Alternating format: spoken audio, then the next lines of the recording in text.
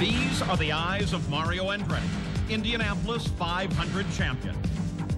Your eyes may see 33 race cars roaring around the speedway every Memorial Day weekend.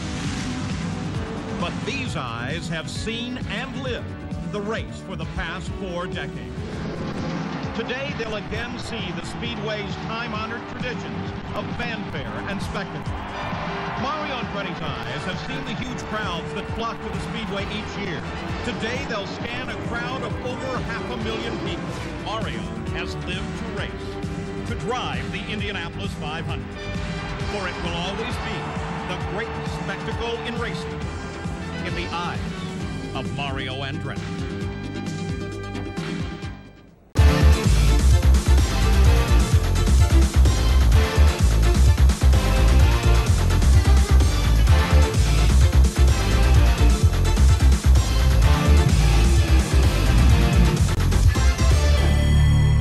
2019 marks 50 years since the last time an Andretti drove into the Indianapolis 500 victory lane. It was Mario Andretti who did it in this car, the Brawner Hawk, entered by the famous STP man Andy Granatelli.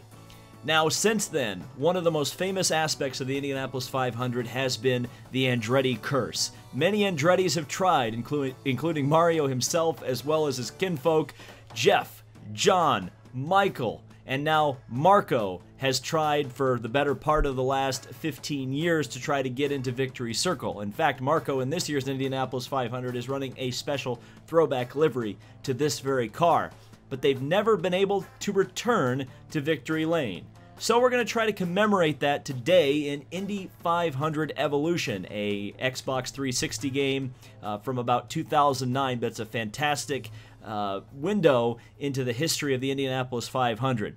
There was also an interesting other debut in the 1969 Indianapolis 500, and it was this team.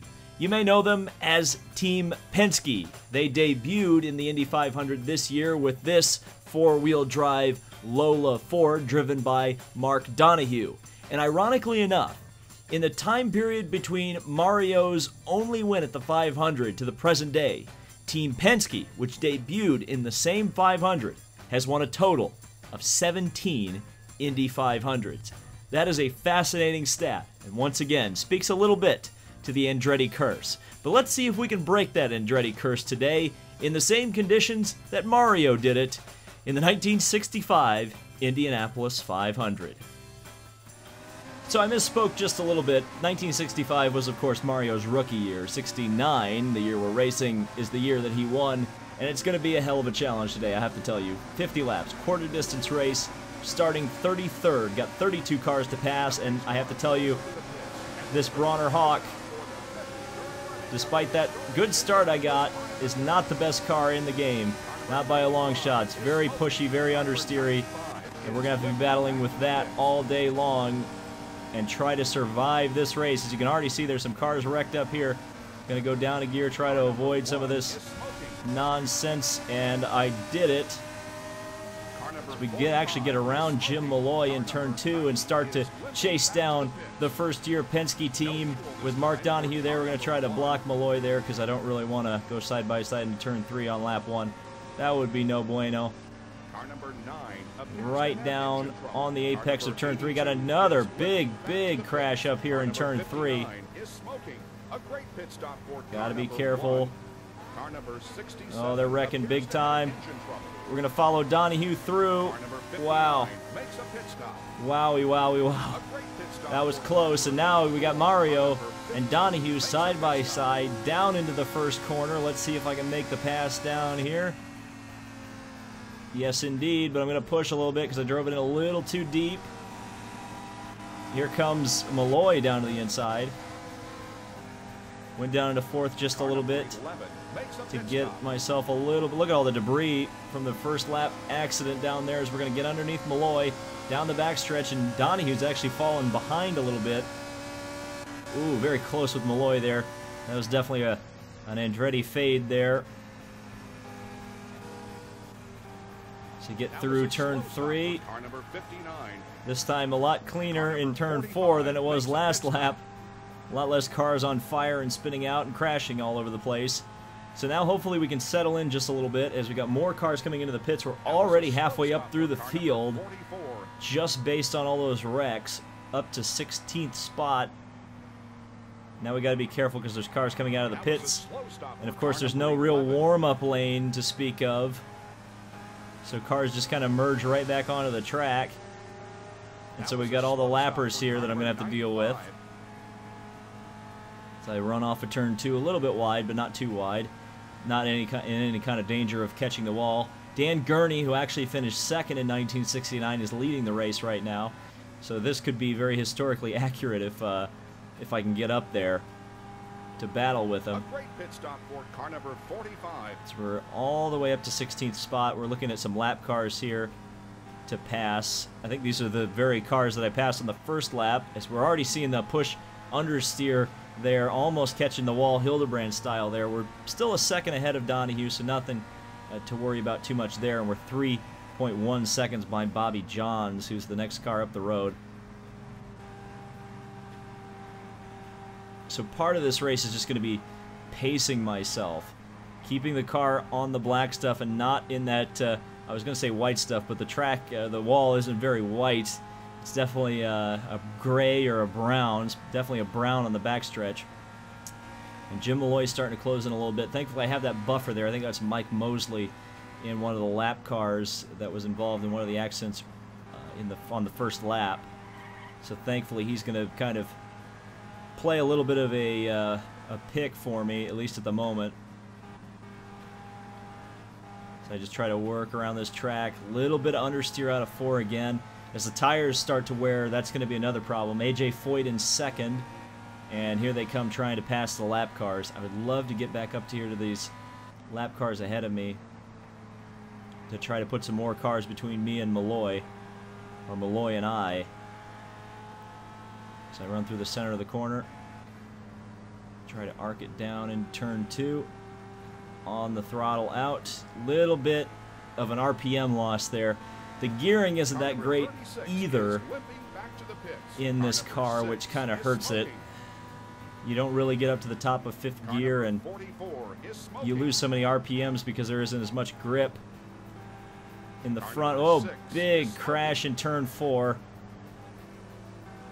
But they all kind of ghosted before I got there. We're already up to 12th.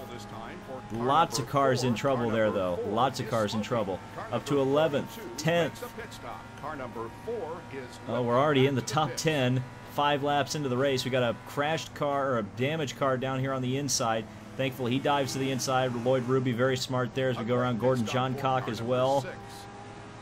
And who is this? This is AJ Foyt, who was running in second. So we may have lost a lot of the front runners, actually. I didn't even see if Dan Gurney. No, Dan Gurney is still leading from Art Pollard and Wally Dallenbach, senior, not junior. Uh, it's not Wally's world, uh, Wally Dallenbach. She's getting a big run on AJ here. And nowhere to quite go with it.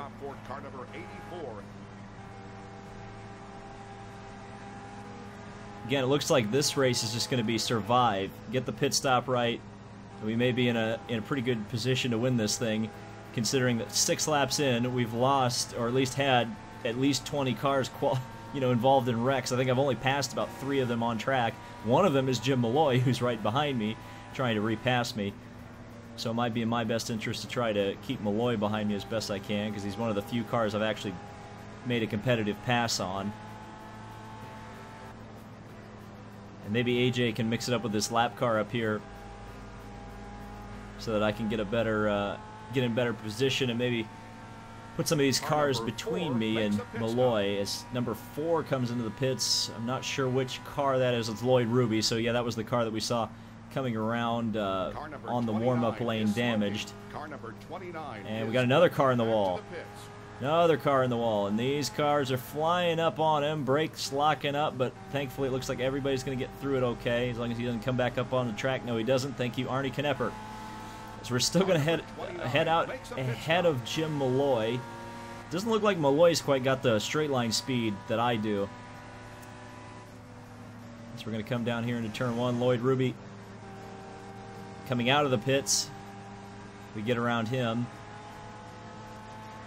pit stop for car number four. And you may have noticed in turn one, AJ uh, got around one of the lap cars, so I guess it would be for position for him.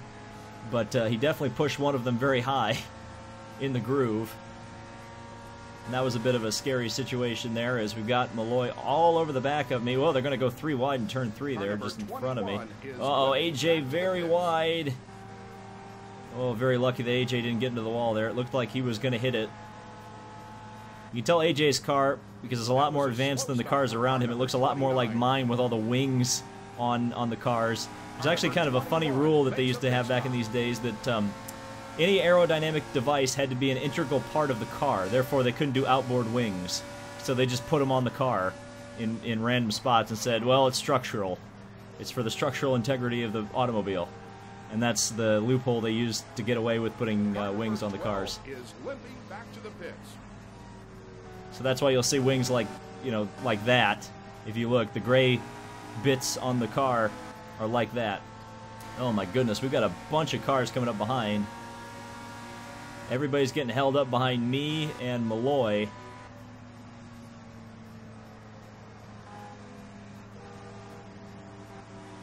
And I did not drive through turn three very well, and that's going to allow Jim Malloy to take that position, Car number 21. take away ninth from me. Oh, and you can see I pushed big time off of turn four right behind Malloy. I might have a run here in turn one, though, as Mark Donohue's still not close enough to pass me. He's still stuck behind Mosley. Nope, I got a run on Malloy, but there was nowhere to go with it. You can see the uh, the grip that Malloy has that I just do not have. I'm Gonna try to turn in a bit earlier to try to get the run off of the corner. That was a lot better. That was a lot better. Maybe running wide is uh, a better way to do it, especially in Car number 12 makes a pit two, turns two and four. Yeah, we're gonna pass Jim Malloy here. Yeah, right underneath him. Little bit of a uh, fade by Malloy, and he's gonna pass back around the outside. So he's definitely got the handling down on his car, no doubt about it. Because uh, not sure how you could pass somebody like that on the outside in 1969. But it looks like we've got another run. Again, the straight line speed looks a little bit better for my car, Mark Donohue's right behind me, so I'm gonna pass Malloy. It's gonna be right here, right at the end of the straightaway. And it's not gonna be the preferred line for me, for my car, to try to go in underneath somebody, and that allowed Mark Donohue to go through. So, not an amazing uh, decision from uh, Mario Andretti there. not very smart race car driving, but hopefully Donohue and um, and Malloy hold each other up here as they're going to go into turn three side by side. Going to try to enter wide. Oh, Malloy's going to get up in the gray. Almost hit the wall there. Oh, no, he did hit the wall. Malloy in the wall. Oh, Donohue just took no prisoners there. And so Donohue moves up into eighth. We're back to ninth, but we got around Malloy. So I guess that's what we should have done to Malloy, is just uh, run him up the track. Like Donohue did. Car number 10 is smoking. Oh, and there's a Car crash behind. is limping back to the Car number 10, that may have been Malloy, actually. I wasn't paying attention to what. Yeah, it was Malloy. Malloy got into a lap car. I believe he got into Jack Brabham there, world champion driver. And, um, yeah, they had it coming together, and into the wall goes Jim Malloy. So there goes another one of the contenders early on. Now, we will have to make a pit stop in this race. Probably going to be around to have engine trouble. the midway point. is back to the pits. So we're about 10 laps, 13 laps away from that at this point. And in fact, we are the last car in the lead lap in ninth because George Follmer is quickly falling behind. makes a pit stop. And because 62 is George Follmer and he was the car that just uh, was announced as crashing. Uh, if you haven't heard, played this game before, Bob Jenkins, when he announces cars are coming into the pits, most of the time it's because they have crashed, not necessarily because they are making a pit stop.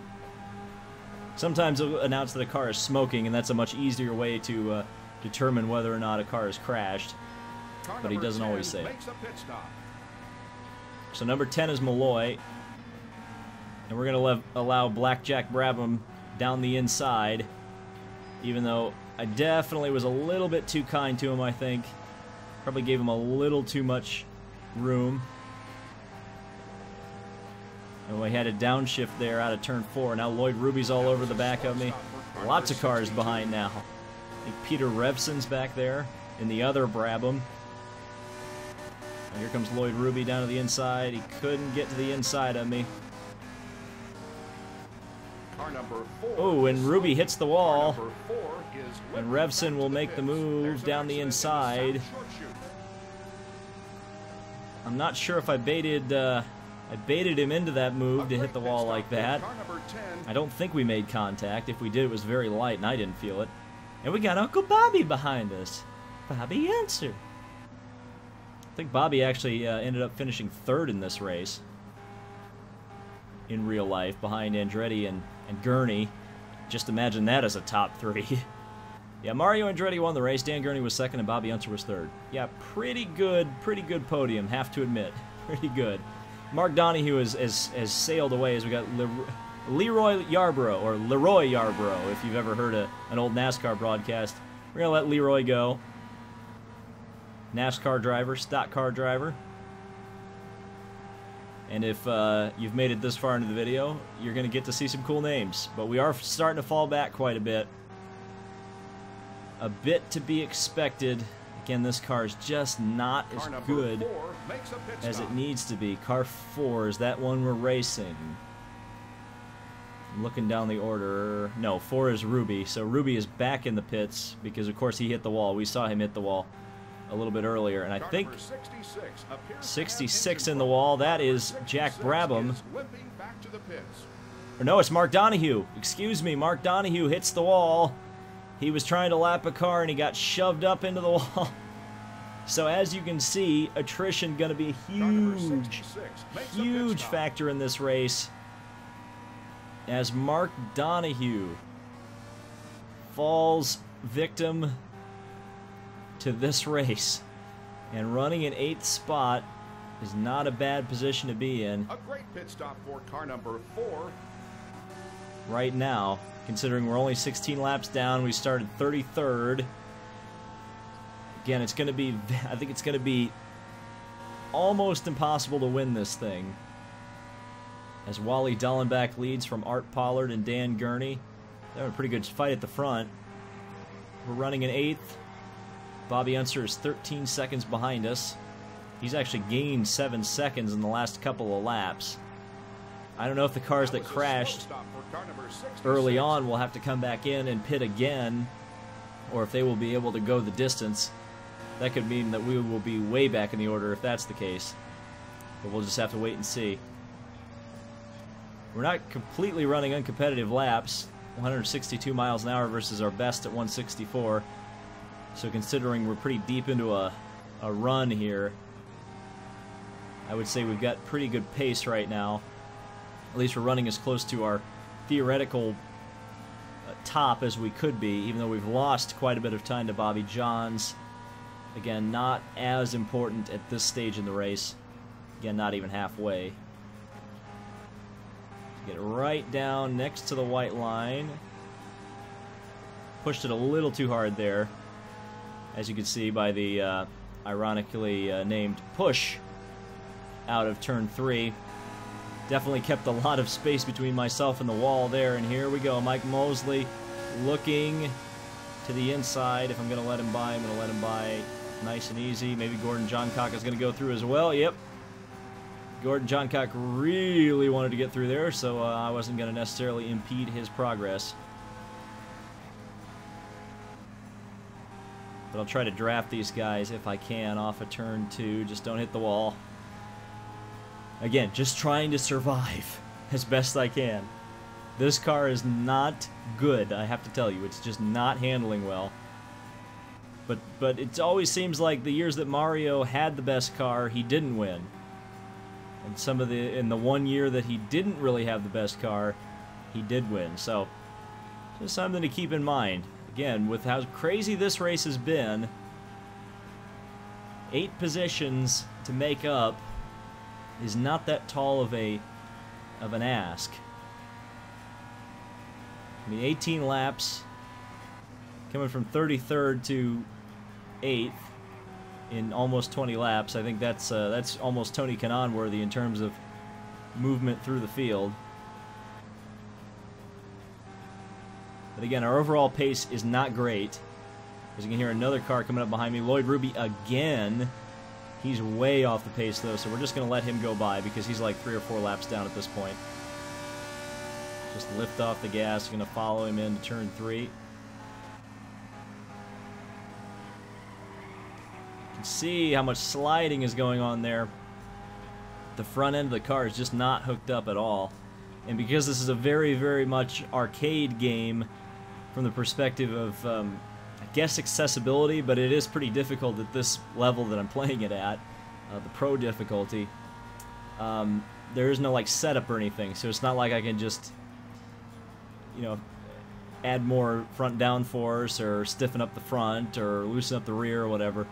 It's not really how you can do it. You can't really make sweeping changes to the handling of your car. The only real way you can do it is to come in and, and get tires and fuel which we eventually will do, but it looks like it's going to be five or six laps. Um, I would like to be safe on fuel, so I will come in with like 27, 26, 27, 28 laps complete, just so we can have the freshest fuel and the or the freshest tires and the most fuel to finish the race. So we're going to run right around the bottom of the track. That was a pretty good line out of four there. Didn't lose too many RPMs. Even though you can see everybody in front of me is screaming away, I think they've all got fresh tires, or at least fresher tires, considering that they've been in the pits for repairs recently. And I haven't been. And I think Lloyd Ruby, who has been a wall magnet today, almost hit it again. It's kind of funny. Cars can get uh, a fatal amount of damage and fall out of the race in this game. Uh, so it's actually kind of surprising to see as many cars uh, still in this race as there are, considering how many major pileups we've had to start this thing. Bobby Johns 18 seconds out in front. So yeah, I really am going to have to rely on attrition because I just don't have anything for anybody else. And Bobby Unser is, is, quickly closing in, despite the fact that I believe he, again, was one of the guys who was involved in a wreck early on in this race. But he was able, he's been able to claw a lot of his time back. And I have not been able to. In fact, I may end up going a lap down to the leaders. I think I'm running that dismal of a pace. I haven't seen quite what the gap is to Gurney from me, and I'm not even sure they would give it to me because I'm in eighth. I think the the gaps only go to sixth uh, sixth spot. But it's fun to, especially in these years, to look at the names on the board and just go, my God, it's an all-star race. Oh, that was close. Maybe don't look at the names on the board. You'll push up into the wall. And yes, Bobby Unser is closing in rapido. Rapido. And there's not going to be a whole lot I'm going to be able to do, I think, to hold off Bobby Unser. I think he is coming and coming fast. I think I'm just going to have to drive as uh, as kindly or as uh, as well as I can and when he comes by, he comes by. But look at that speed that Bobby Unser has that I just do not have right now. Here he comes. I think it'll be on the main straightaway when he actually is able to close in enough to make the pass. I may be proved wrong here. Whoa, look, yep. Oh no, Bobby, Bobby is scraping the wall to get around Mario. Well, he proved me wrong. Boy, oh boy. Bobby Unser is hooked up, and um, if he's not that far behind, or if he's, you know, he, he may be in contention to win this thing because he is flying right now. Too bad there's no yellows in this game, or full course yellows anyway. Because uh, Uncle Bobby could uh, could be on his way if the field got packed up to really uh, win the race. Car's actually loosening up a little bit with the uh, with the worn tires.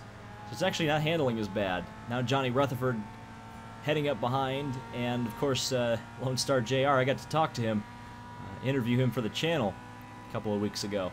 Pretty cool, even though I had to explain to him what YouTube was, and that was a bit embarrassing. I was just like, it's something kids watch, or young people watch. I didn't even say kids, I said young people. I know what my analytics say. 18 to 35. Here comes Johnny Rutherford. Oh, I touched the wall. There's debris on the Somehow I don't think I hurt the car. Miraculously. That was very lucky. Denny Hulme behind me. Another world champion in the race. So we are at the halfway point, so it's going to be time, almost time, to bring the car into the pits to get some fresh Firestones on this car. Many of the cars in the race are running Goodyears. Not mine, though. 16 in the wall. That's uh, Walkup. That's the 24th place car, so that's not, unfortunately, not anything that's going to help my race.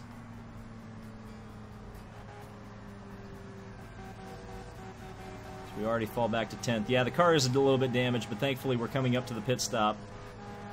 So I'll be able to come in for repairs anyway. 67 makes a pit stop. 67 comes into the pits. Are we getting lead lap pit stops, or are we just seeing cars damaged? That's a damaged car. Yeah, it's Leroy Yarborough. That's not a car we're racing. Jim Malloy. I can't get away from Jim Malloy. He's coming up behind me again.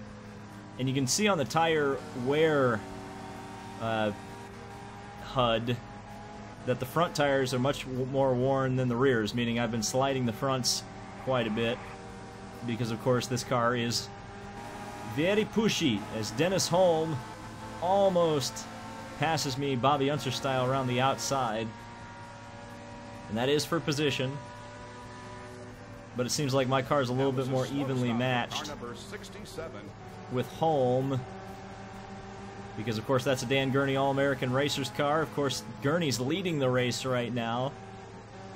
So, not really a surprise that that car's fast. So, we get way out to the wall there. Gary Bettenhausen, Bud Tingelstad. Lots of names, lots of cars all around me right now as we get to lap 27. So I think this will be the lap I come into the pits. Make me stop. As Bettenhausen's going to try to go around the outside. A little bit of contact there. And Gary B, not sure what he was thinking there. Have to admit, not the brightest move in the entire world. I mean, I was giving him room. And around the outside he went. We fall all the way back to 15th as Roger McCluskey comes around. And there is the leader, Dan Gurney. So yeah, we are going to get lapped. On lap 27, getting the blue flag. I don't think I've ever gotten legit lapped before in this game. But we are about to. Because I'm going to go real low and allow Dan Gurney to make the pass. Oh no! Really? Who was that? Wally Dallenbach. Oh dear. Well, um, the Andretti luck strikes again. Mario does not finish the 1969 Indianapolis 500. It's a little bit like Avengers. Uh, the uh, you have the one chance the one in a billion chance to win the Indianapolis 500. And um, this wasn't the one. The one was the one that Mario won. And uh, Dan Gurney uh, makes good on the promise, wins the race from Art Pollard, Carl Williams, Bill Vukovich, uh, Jim McElreath, Bobby Johns, Bobby Unser, who would have ended up finishing seventh, Rutherford, Hulme, Knepper, Bettenhausen. And Bettenhausen, uh, yeah, I had words with him after the after the finish uh, for uh, his little bit of an oopsie there. And you can see I probably would have finished about where Donohue finished, so 17th. It would have been a fantastic race. It would have been nice to get to the pit stop. I almost got to the pit stop, but ended up getting absolutely uh, destroyed by uh, Wally Dallenbach, who finished 28th. So that was disappointing, but I guess that's almost the story of the Andretti's at Indianapolis. Thank you guys so much for watching. Be sure to subscribe for more Indy 500 Evolution gameplay, Indy car content, and Indy 500 month. And we will see you in the next video.